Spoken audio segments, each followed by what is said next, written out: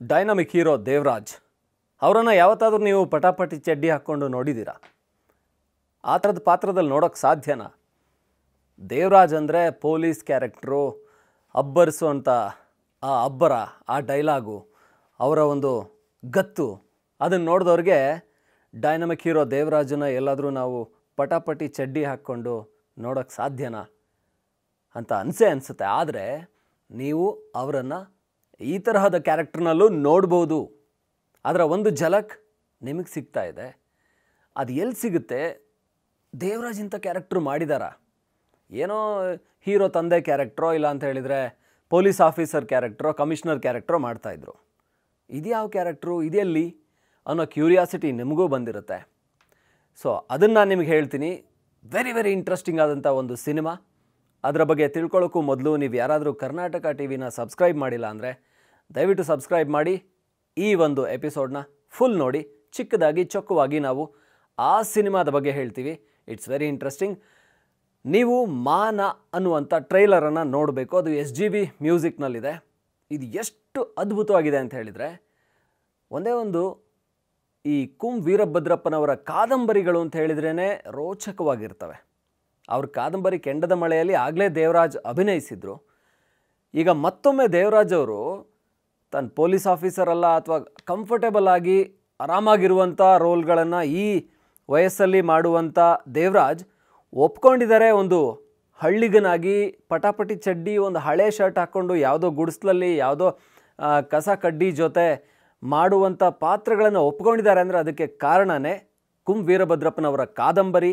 ಯಾಕೆಂದರೆ ಹಿಂದೆ ಅವರು ಯಾವ ಪೊಲೀಸ್ ಆಫೀಸರ್ ಆಗಿ ಖಡಕ್ ಆಫೀಸರಾಗಿ ಕಾಣಿಸ್ಕೊಳ್ಳೋಕ್ಕಿಂತ ಮೊದಲು ಅವ್ರು ಮಾಡಿದಂಥ ಪಾತ್ರಗಳು ಭಾಳ ಸಾಮಾನ್ಯ ಜನಜೀವನದ ಪಾತ್ರಗಳಾಗಿತ್ತು. ಅದನ್ನು ಹಿಂದೆ ಸಿನಿಮಾ ನೋಡಿದ್ದವ್ರಿಗೆ ಗೊತ್ತಿರುತ್ತೆ. ಕೆಂಡದ ಮಳೆ ವೀರಭದ್ರಪ್ಪ ಅವ್ರದೇ ಕಾದಂಬರಿ.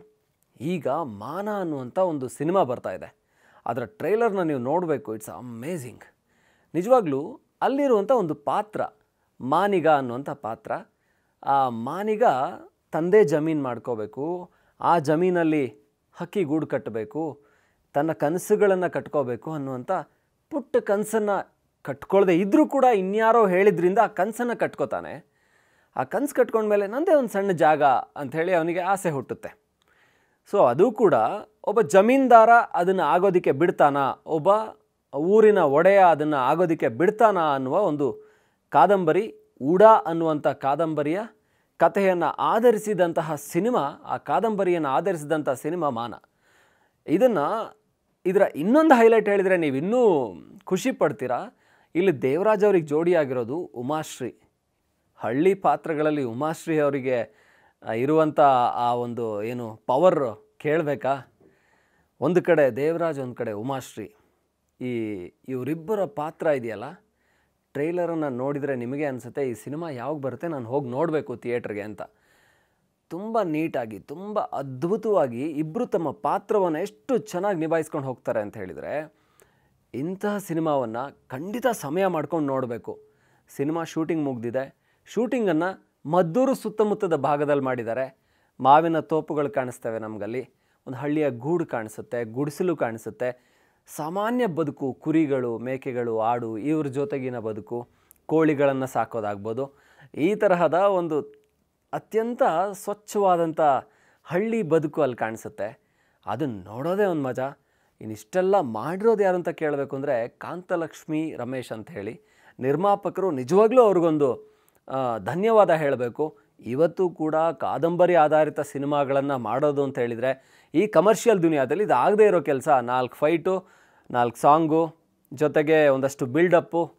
ಒಬ್ಬ ಸ್ಟಾರ್ ಹೀರೋನ ತಗೊಂಡು ಬಂದರೆ ಸಿನಿಮಾ ಮೂಲಕ ದುಡ್ಡು ಮಾಡ್ಬೋದು ಅನ್ನುವಂಥ ಯೋಚನೆಯಲ್ಲಿ ಬರೋರೇ ಜಾಸ್ತಿ. ಆದರೆ ಮಾನದಂಥ ಒಂದು ಸಿನಿಮಾ ಅತ್ಯಂತ ಮನ ಮುಟ್ಟುವಂಥ ಸಿನಿಮಾ, ಅದರಲ್ಲಿ ಇರುವಂಥ ಅಭಿನಯ ಆಗ್ಬೋದು, ಅವರು ಅಲ್ಲಿ ಸೃಷ್ಟಿಸಿರುವಂಥ ಪಾತ್ರಗಳು, ಒಂದು ಕಡೆ ಒಂದು ಎಂ ಎಲ್ ಎ ಪಾತ್ರ, ಸರಿಗಮ ವಿಜಯ್ ಅವರು ಎಂ ಎಲ್ ಎ ಪಾತ್ರದಲ್ಲಿ ಕಾಣಿಸ್ಕೋತಾರೆ, ಎಂ ಎಲ್ ಎ ನಂಜಪ್ಪ ಪಾತ್ರದಲ್ಲಿ. ಸಿನಿಮಾನ ಹೇಳ್ತಾ ಇಲ್ಲ ಜಸ್ಟ್ ಟ್ರೈಲರ್ಲಿ ಇರೋದನ್ನು ಹೇಳ್ತಾ ಇದ್ದೀನಿ ಇನ್ನು ಊರ ಗೌಡನ ಪಾತ್ರದಲ್ಲಿ ಶ್ರೀನಿವಾಸ್ ಪ್ರಭು ಅವರು. ಈ ಎಲ್ಲ ಪಾತ್ರಗಳು ಇದೆಯಲ್ಲ, ಈ ಒಂದೊಂದು ಪಾತ್ರ ಕೂಡ ನಮ್ಮನ್ನು ಇರುವಷ್ಟು ಹೊತ್ತು ರಂಜಿಸುತ್ತೆ. ಅವರು ತೆರೆಯಲ್ಲಿ ಇದ್ದಷ್ಟು ಹೊತ್ತು ನಾವು ಮೂಕ ವಿಸ್ಮಿತರಾಗಿ ನಾವು ಒಂಥರ ಮೈಮರೆತು ಆ ಪಾತ್ರವನ್ನು ಅನುಭವಿಸ್ತೀವಿ. ಅದು ಟ್ರೈಲರಲ್ಲೇ ಕಾಣಿಸ್ತಾ ಇದೆ.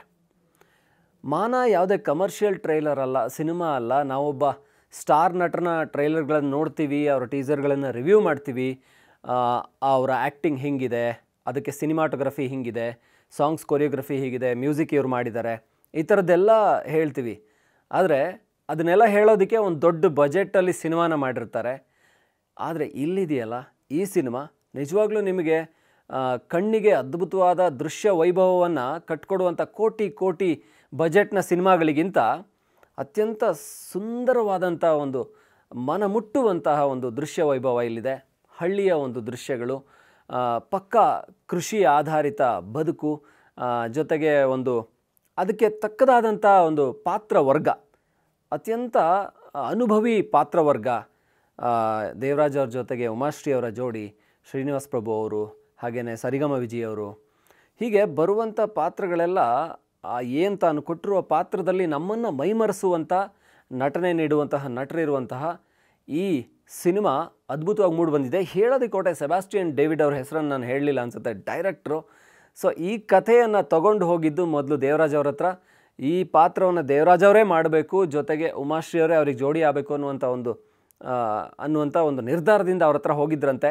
ಹೇಗೋ ದೇವರಾಜ್ ಅವರು ಒಪ್ಕೊಂಡ್ರು ಅನ್ನುವಂಥ ಖುಷಿನ ಕೂಡ ಹೇಳ್ಕೊತಾ ಇದ್ರು. ಜೊತೆಗೆ ಉಮಾಶ್ರೀ ಅವರು ಕೂಡ ಈ ಪಾತ್ರ ಇಷ್ಟಪಟ್ಟು ಒಪ್ಕೊಂಡು ಮಾಡಿದ್ದಾರೆ. ಇನ್ನು ಉಮಾಶ್ರೀ ಅವರ ಅಭಿನಯ ನೋಡೋದಂತೂ ಮೈ ಜುಮ್ ಅನಿಸುತ್ತೆ. ಟ್ರೈಲರಲ್ಲಿ ಒಂದು ವಿಷಯನ ದೇವರಾಜ್ ಅವರು ಹೇಳ್ತಾ ಇದ್ರು. ಈ ಈ ಇಡೀ ಸಿನಿಮಾದಲ್ಲಿ ಏನು ಅಂತ ಹೇಳಿದರೆ, ಅಂದರೆ ಟ್ರೈಲರ್ ರಿಲೀಸ್ ಫಂಕ್ಷನ್ನಲ್ಲಿ ಈ ಸಿನಿಮಾದಲ್ಲಿ ಕಾಮಿಡಿ ಏನಾದರೂ ಇಷ್ಟ ಆದರೆ ಸಿನಿಮಾ ಪಕ್ಕ ಒಂದು ಕಮರ್ಷಿಯಲ್ ಹಿಟ್ ಆಗುತ್ತೆ ಅಂತ ಹೇಳಿ. ಕಮರ್ಷಿಯಲ್ ಹಿಟ್ ಆಗುತ್ತೋ ಬಿಡುತ್ತೋ, ಆದರೆ ಆ ಒಂದು ಪಾತ್ರಗಳು ನಮ್ಮನ್ನು ಎಷ್ಟು, ಎಷ್ಟರ ಮಟ್ಟಿಗೆ ಅನುಭವಿಸುವಾಗ ಮಾಡ್ತವೆ ಅಂತ ಹೇಳಿದರೆ, ಅಲ್ಲಿರುವ ಒಂದೊಂದು ಆ ಡೈಲಾಗ್ ಆಗಲಿ ಅಥವಾ ಹಳ್ಳಿಯ ದೃಶ್ಯವನ್ನು ಕಟ್ಕೊಟ್ಟಿರೋದಾಗಲಿ, ಆ ಪಾತ್ರಗಳ ಮೂಲಕ ತುಂಬ ಚೆನ್ನಾಗಿದೆ. ಸೊ ಹಾಗಾಗಿ ಎಸ್ ಜಿ ವಿ ಮ್ಯೂಸಿಕಲ್ಲಿ ನಿಮಗೆ ಮಾನ ಟ್ರೈಲರ್ ಸಿಗುತ್ತೆ. ಇದು ಕಾದಂಬರಿ ಆಧಾರಿತ ಸಿನಿಮಾ. ಇವಾಗ ಇದು, ಈಗಿನ ದಿನಗಳಲ್ಲಿ ರಾಜ್ಕುಮಾರ್ ಕಾಲದಲ್ಲಿ ಕಾದಂಬರಿ ಆಧಾರಿತ ಸಿನಿಮಾಗಳು, ವಿಷ್ಣುವರ್ಧನ್ ಕಾಲದಲ್ಲಿ ಕಾದಂಬರಿ ಆಧಾರಿತ ಸಿನಿಮಾಗಳು, ಅವತ್ತೆಲ್ಲ ನಿರ್ದೇಶಕರುಗಳು ಅಷ್ಟು ಚೆನ್ನಾಗಿ ಮಾಡ್ತಿದ್ರು. ಸಿದ್ಲಿಂಗಯ್ಯ ಅವರಾಗ್ಬೋದು ಅಥವಾ ಪುಟ್ಟಣ್ಣ ಕಣಗಾಲ ಅವರಾಗ್ಬೋದು. ಇವರೆಲ್ಲ ಕಾದಂಬರಿ ಆಧಾರಿತ ಸಿನಿಮಾಗಳನ್ನೇ ಮಾಡ್ಕೊಂಬರ್ತಾಯಿದ್ರು ಜಾಸ್ತಿ, ದೊರೆ ಭಗವಾನ್ ಅಂತವರು. ಈಗ ಎಲ್ಲಿದ್ದಾರೆ? ಆದರೆ ಈಗಲೂ ಮಾಡಿದ್ದಾರೆ ಅಂದರೆ ಎಲ್ಲೋ ವರ್ಷಕ್ಕೆ ಒಂದೋ ಎರಡೋ ಸಿನಿಮಾಗಳು ಮಾಡಿದ್ದಾರೆ ಅಂಥದ್ರಲ್ಲಿ ಸೆಬಾಸ್ಟಿಯನ್ ಡೇವಿಡ್ ಅವರ ಈ ಒಂದು ಧೈರ್ಯನ ಮೆಚ್ಚಲೇಬೇಕು. ಜೊತೆ ಕಾಂತಲಕ್ಷ್ಮಿ ರಮೇಶ್ ಅವರು ನಿರ್ಮಾಪಕರಾಗಿ ಎಷ್ಟು ಅದ್ಭುತವಾಗಿ ಸಿನಿಮಾಗೆ ಸಾಥ್ ಕೊಟ್ಟಿದ್ದಾರೆ ಅಂತ ಹೇಳಿದರೆ, ಅವರು ಇದನ್ನು ಇಷ್ಟಪಟ್ಟು ಮಾಡಿದ್ದಾರೆ. ಹಾಗಾಗಿ ಸಿನಿಮಾ ತುಂಬ ಚೆನ್ನಾಗಿ ಬಂದಿದೆ. ಈ ಟ್ರೈಲರ್ ನೋಡಿದರೆ ಅದು ಗೊತ್ತಾಗ್ತಾ ಇದೆ. ನೀವು ಕೂಡ ಟ್ರೈಲರ್ ನೋಡಿ, ಸಿನಿಮಾದ ಬಗ್ಗೆ ಹೆಚ್ಚಿನ ಮಾಹಿತಿ ನಾವು ಕೊಡ್ತಾ ಇರ್ತೀವಿ. ಇಂಥ ಒಳ್ಳೊಳ್ಳೆ ಟ್ರೈಲರ್, ಟೀಸರ್ಗಳ ಬಗ್ಗೆ ನಾವು ಆಗಾಗ ನಿಮಗೆ ತಿಳಿಸ್ತಾ ಇರ್ತೀವಿ. ನೀವು ನೋಡಿಲ್ಲ ಅಂದರೆ ಈ ಟ್ರೈಲರ್ ನೋಡಿ, ಸಾಧ್ಯ ಆದರೆ ಆ ಸಿನಿಮಾನು ಮುಂದಕ್ಕೆ ನೋಡಿ. ಸೊ ನಾವು ನಿಮಗೆ ಇವತ್ತು ಹೇಳ್ತಾ ಇರೋವಂಥದ್ದು ಮಾನ ಒಂದು ಒಳ್ಳೆ ಟ್ರೈಲರ್. ನೋಡಿ, ಸಿನಿಮಾ ಕೂಡ ಬರುತ್ತೆ. ನಾವು ಅದ್ರ ಬಗ್ಗೆ ಹೆಚ್ಚಿನ ಮಾಹಿತಿ ನಿಮಗೆ ಕೊಡ್ತಾ ಇರ್ತೀವಿ.